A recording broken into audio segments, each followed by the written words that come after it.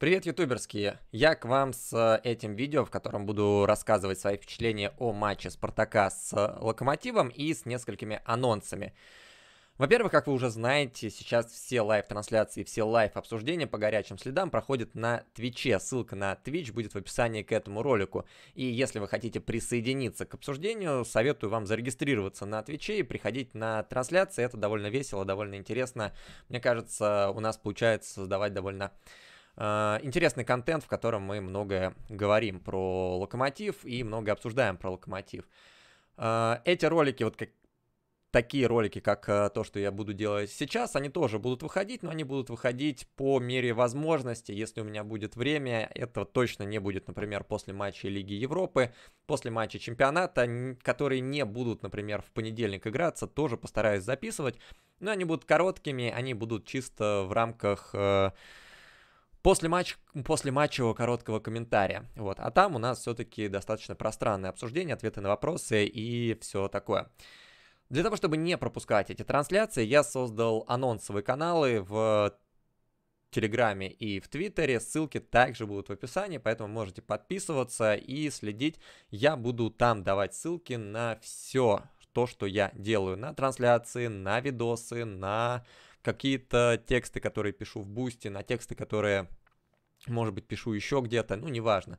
Все, что я делаю, я буду давать э, ссылки в эти два источника, поэтому подписывайтесь.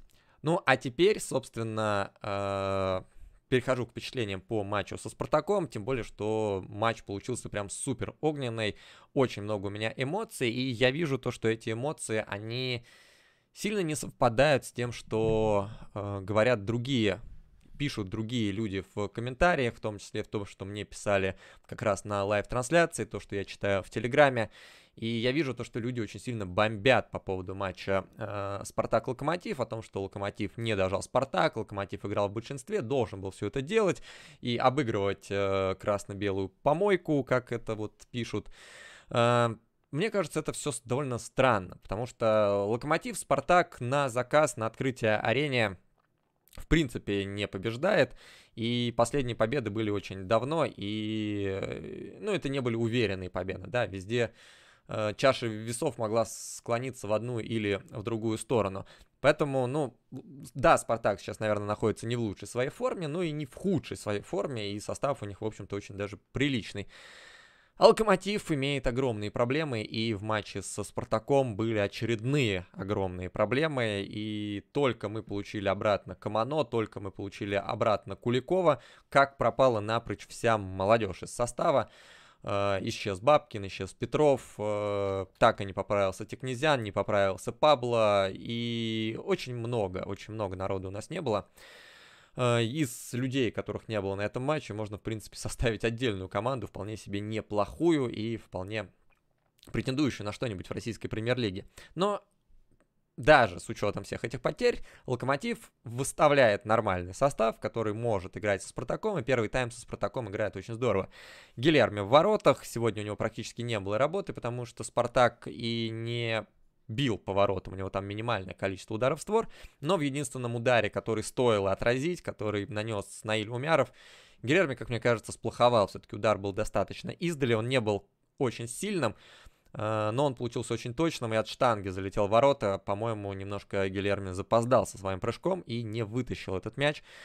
Видимо, поздно мяч вылетел из-за из спин защитников, и там нужно было его накрывать. Федор Смолов мог его накрывать, э, защитники как-нибудь получше могли ногу подставить, чтобы мяч до Гильерми не дошел. Но в итоге он вылетел из-за спин защитников и влетел в самый уголок. А Гильерми, по сути, вот в единственном моменте, в котором нужно было сыграть здорово, не сыграл. Ну, правда, был еще один момент, когда Сойболев бил в упор, но он бил практически по центру, и там Гильерми должен был этот мяч потащить зафиксировать.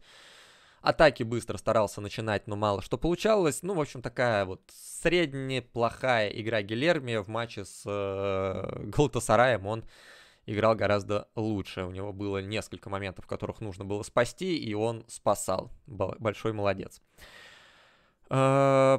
Правый защитник сначала это был Живоглядов, и это был тот самый Живоглядов, которого мы все прекрасно знаем. Не очень хорошо впереди, не очень хорошо сзади. До поры до времени ему удавалось справляться с э, Промисом, но затем он получил желтую карточку за откровенное просто срыв атаки. Но э,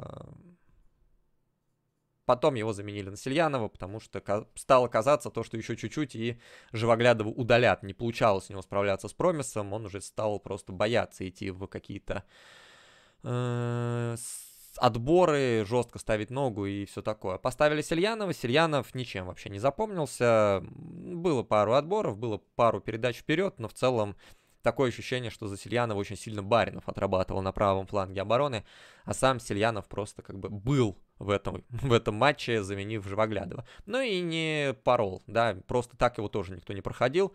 Какого-то проходного двора в нашу штрафную с Сельяновым не появилось.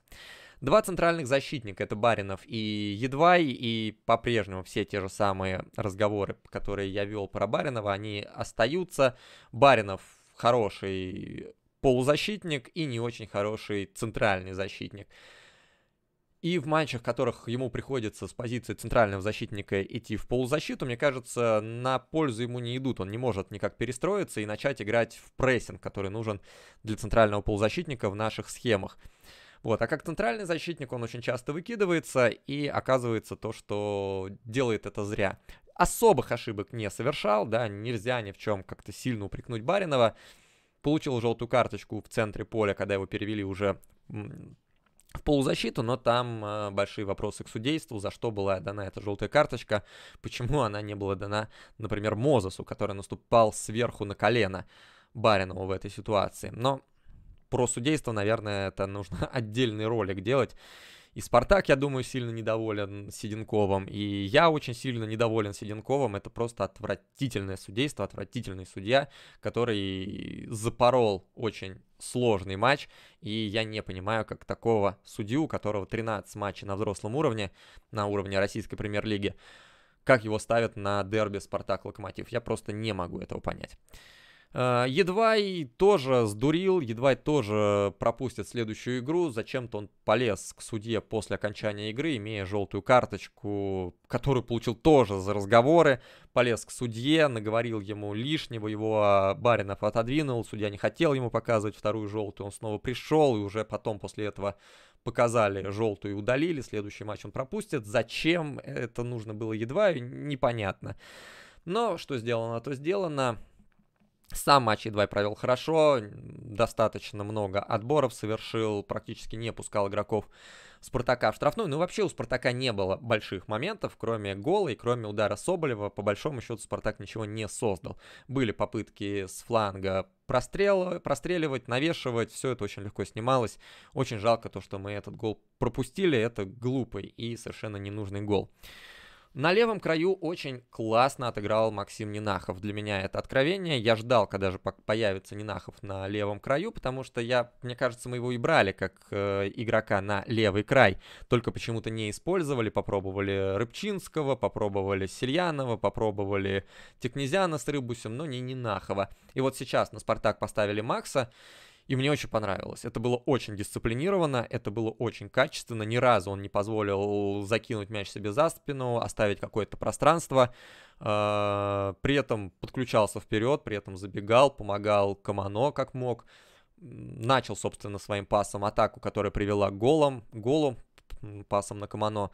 В общем, мне очень понравилось, а потом его еще перевели в центр после того, как выпустили Рыбчинского. Он еще и в центре хорошо сыграл, причем, как мне кажется, за эти там 9-10 минут, которые у него были, он сыграл лучше, чем Баринов, потому что он возвращал владение, давал мячи вперед для построения наших атак. Вот эти 9 минут, когда вышел Рыбчинский, Нинахова поместили в центр, мне кажется, вообще очень хорошие вышли у Локомотива, да, мы перестали бояться за то, что можем пропустить. Там было пара стандартов, но в целом Спартак перестал давить на наши ворота, а мы, наоборот, несколько атак провели и даже могли забить в какой-то из них.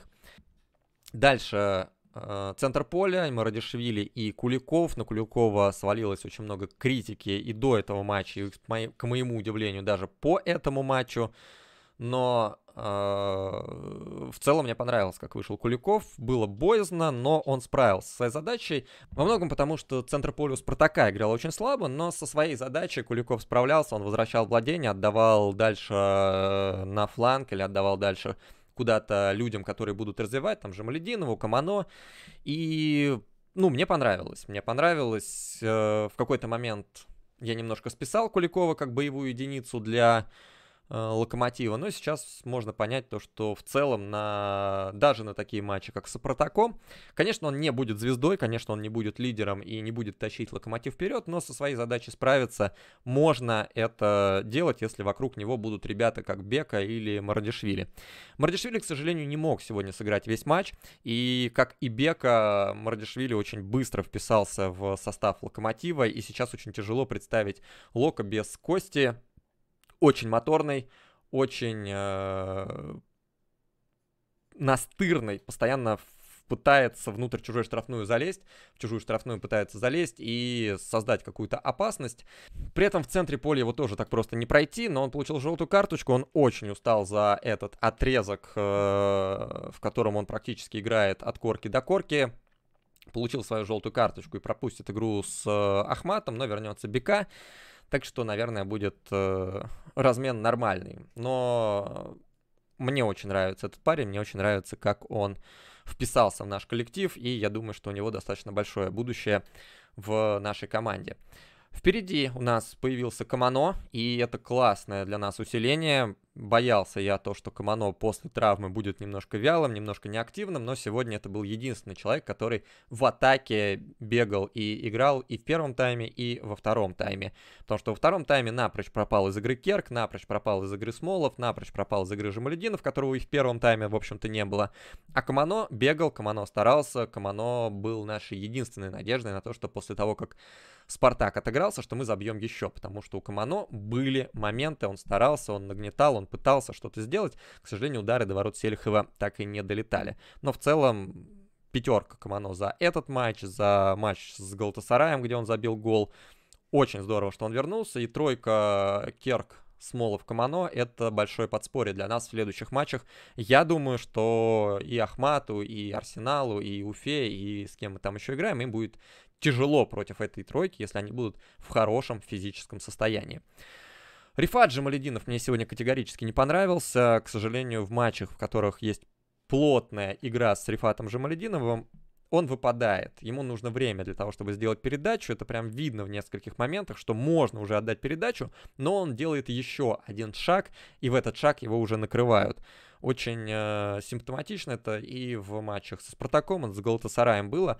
А если ты лидер команды, коим является у нас сейчас Рифат, то ожидай, что на тебя будут на, а, по одному-двух человек отрежать чисто для того, чтобы накрывать твою там правую ногу. Рифату нужно быстрее работать на поле, быстрее расставаться с мячом, быстрее принимать решения, чего у него пока нету. Керк наконец-то забил свой гол, распечатал ворот. Я думаю, что теперь он почувствует уверенность, тем более в дерби, тем более с Спартаком. А, долго у него мяч в ворота не летел, но сегодня он сделал прекрасный рывок. Сегодня он подставил ногу, прошил Селихова. Большой молодец. И в целом я верю в Керка, у него отличные показатели статистические, он все правильно делает на поле, не хватало только завершающего удара, которые у него тоже были, но почему-то катастрофически не везло. Но Керк провалил напрочь второй тайм, я не знаю, с чем это связано, но ему не давали передач, он сам не открывался, не было никаких забеганий, не было открываний в свободной зоны. То, что делал Камано регулярно и получал передачи, Керк не делал вообще. Он не помогал обороне практически, у него мало очень отборов, перехватов, всего такого во втором тайме, что было очень нужно, и не цеплялся за какие-то дальние выносы. То есть второй тайм Керк провалил. И я думаю, что это связано с его физической формой. Было видно, как он угас во втором тайме с Галатасараем, ну и в матче с Спартаком, тем более, вот во втором тайме уже силенок вообще не хватало, так что эти две недели, которые он сейчас проведет в Локомотиве, восстановится, не надо будет играть. Я думаю, что Керк будет еще лучше, и опять же, для нас это огромное подспорье в матчах против соперников, которые более низкого уровня, чем э, Сочи, чем э, Рубин, чем Спартак, с которыми мы сейчас играли. Да, следующий отрезок у нас в чемпионате попроще. Но, к сожалению, прошлый наш простой отрезок Николич провалил, и очень не хочется, чтобы его провалил Гиздель. Будет все равно тяжело и нужно вскрывать. Ну и Федор Смолов, который э, вернулся в стартовый состав. К сожалению, это наш главный центральный нападающий. Он в тысячу раз лучше, чем Лисакович. И все равно это не то, что нужно Локомотиву, и никак у него не получается перестроить игру, он все время где-то на фланге, он все время где-то перед штрафной, в то время как ему нужно идти в штрафную, ему нужно получать передачи, ему нужно бороться за мячи, но он все время где-то на фланге. Получает мяч Керк, рядом с ним открывается Федор Смолов, а Керк смотрит и думает, ну блин, я же должен делать передачу в штрафную, а там никого, Смолов стоит в трех метрах от меня. То же самое Камано. Вот в моменте на гол Смолов берет, открывается где-то вообще в боковую линию. Камано делает передачу в центр на Керка, но э, хорошо, что Керк вбежал туда, хорошо, что Керк опередил Айртона, но по большому счету эта передача не должна проходить, потому что защитникам легко против такого обороняться, если нету отвлекающего фактора в лице Смолова. Увы, увы, никак не может Смолов найти вот эту свою игру, никак Смолов не может начать приносить пользу Локомотиву в новой реальности. И в сентябре не мог, в старой реальности, и в октябре не может, в ноябре пока у него ничего не получается. Я очень надеюсь, что, ну, донесут до него тренеры, донесут до него аналитики, коих у нас теперь миллион, как нужно играть, как нужно помогать Камано и Керку в схеме 4-3-3 и забивать, как он сам будет забивать. Но то, что он делает сейчас, абсолютно бесполезно, к сожалению. Увы. Ключевые передачи это, конечно, хорошо, передачи это хорошо в принципе, но от Смолова здесь сейчас нужны другие вещи. Как я уже сказал, Локомотив провел два совершенно равных тайма. Если в первом тайме Локомотив показывал тот самый прессинг, и у Спартака ничего не получалось, они не могли выйти в атаку, они не могли дойти до наших ворот, то во втором тайме Локомотив стал играть в тот футбол, в котором мы играли в сентябре, августе. И в некоторых матчах он приносил нам успех, в некоторых не приносил нам успех. Не принес, собственно, и сейчас зачем и как это было нужно, как, зачем это происходило и кто дал команду делать вот именно так, непонятно. Подозреваю, что просто устали, об этом говорит и Гиздель, и просто вот э, вместо того, чтобы выполнять установку, выполнять те требования, которые предъявляются на тренировках, предъявляются тренерским штабом, они просто игра... стали играть вот в тот простой футбол, в который э, не нужно много концентрации, не нужно много бегать, можно просто встать сзади, экономить силки и отбиваться на контратаках. Но, к сожалению, когда ты так играешь, ты получаешь много атак на свои ворота, а когда ты получаешь много атак на свои ворота, нет-нет, да и залетит какая-нибудь шальная дичь, опять все то же самое, что много раз я говорил по матчам с Николичем, да, что вот какой-то дурак нам залетел, вот какой-то рикошет, вот. Ну а так оно и бывает, потому что мы дали слишком много пространства Спартаку, мы дали слишком много им делать, а ведь мы были в большинстве и в целом не должны были отступать от Спартака, который, в общем-то, тратил больше сил, чем мы. Увы, нету скамейки нормальной, увы, нету возможности усиливать игру, увы, нету центрального нападающего, который бы тревожил соперника и заставлял его меньшими силами идти вперед. Это данность, с этим надо жить, с этим мы будем жить как минимум до зимы, поэтому сейчас главное не отпускать «Зенит». Нам пока получается не отпускать их дальше 5 очков, не, при, не получается, правда, и приблизиться к ним на расстояние ближе, чем э, а, 5 очков, но, по крайней мере, не, от, не отпускаем их.